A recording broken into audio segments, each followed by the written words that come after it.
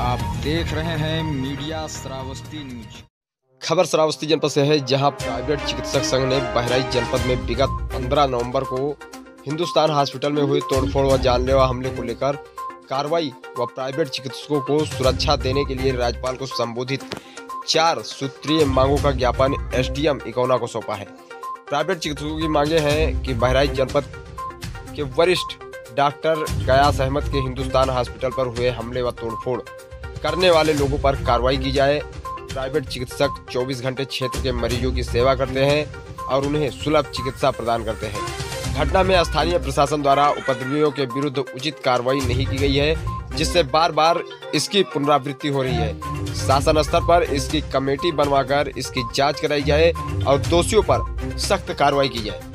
प्रदेश सरकार प्राइवेट डॉक्टरों को पर्याप्त सुरक्षा व्यवस्था सुनिश्चित कराए, साथ ही तोड़फोड़ होने की स्थिति में प्राइवेट चिकित्सक के प्रतिष्ठान पर हुई क्षति का मुआवजा आरोपियों से दिलाई जाए बाल विशोषक जो है डॉक्टर गयास अहमद, उनके ऊपर कुछ कार्रवाई की गई थी।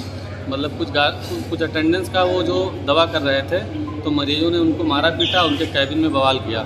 और उसके बाद कुछ एफ़ आई आर उन लोगों ने करवाया तो उसी के उपलक्ष्य में हमने एस डी साहब को वो दिया है ज्ञापन दिया है कि जो भी उनके खिलाफ कार्रवाई हुई है उसे रद्द करके और जिन लोगों ने मारा पीटा है उनके खिलाफ कार्रवाई की जाए।